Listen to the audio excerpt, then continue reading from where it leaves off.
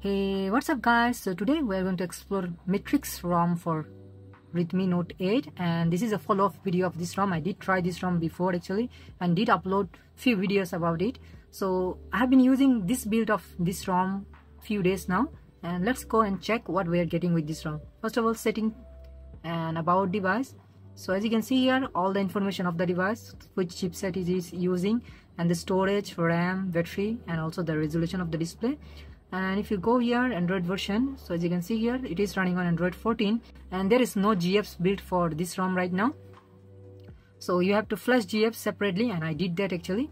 So as you can see here android 14 and the security patch level is 5th of july 2024 going back the ui is a little different than usual AOSP based rom. Uh, it is pretty much look like infinity x rom actually and i do really like the rom.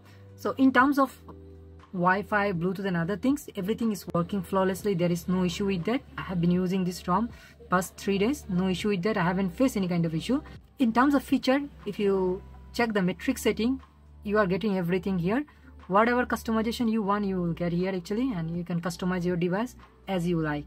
So I'm not going to in depth with the customization. This is everything is pretty much similar to other ROMs. And in terms of battery. The battery is doing pretty well and there are features available for battery section too actually if you go to charging control you can control the charging up to limit and also you can schedule. So everything is there actually. So in terms of features it got everything actually. And it is working flawlessly. Um, i have been using past three days. Haven't faced any kind of issue right now. And in terms of display as you can see the ui is beautiful and you, adaptive brightness is working. Dark mode is there night light is there and everything actually is there actually. There is no issue with that. So uh, in terms of security so this is pretty weird actually. I have never seen something like this. So if you go to security section device unlock. So we are getting only face unlock here. Fingerprint unlock is not there. Even the previous version of this ROM actually got fingerprint unlock I don't really know why fingerprint unlock is not here. It's pretty strange actually. In terms of face unlock, it's pretty slow. So if I, as you can see here, it takes a very long time to unlock the device.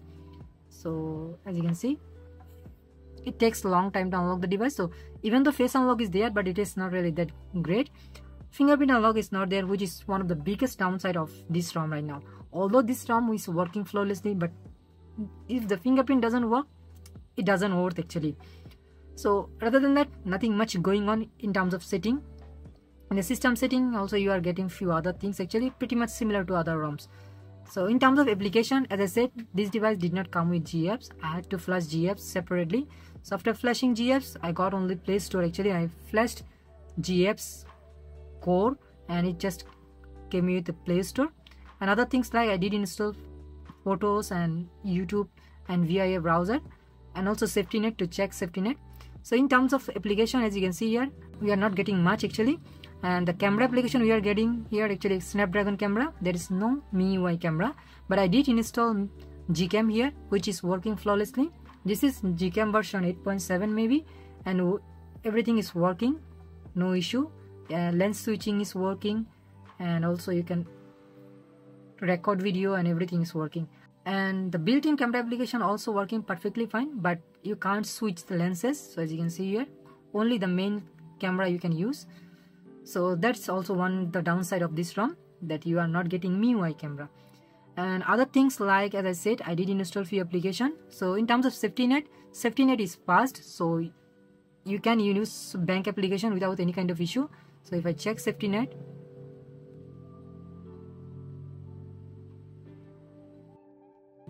so as you can see here passed. So safety net is working.